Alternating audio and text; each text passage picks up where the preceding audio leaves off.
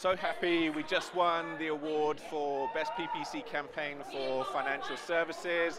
I just want to thank the team and Experian. It really is a collaboration between us and Experian as a client, and we're, we're so happy that we won. Thanks so much.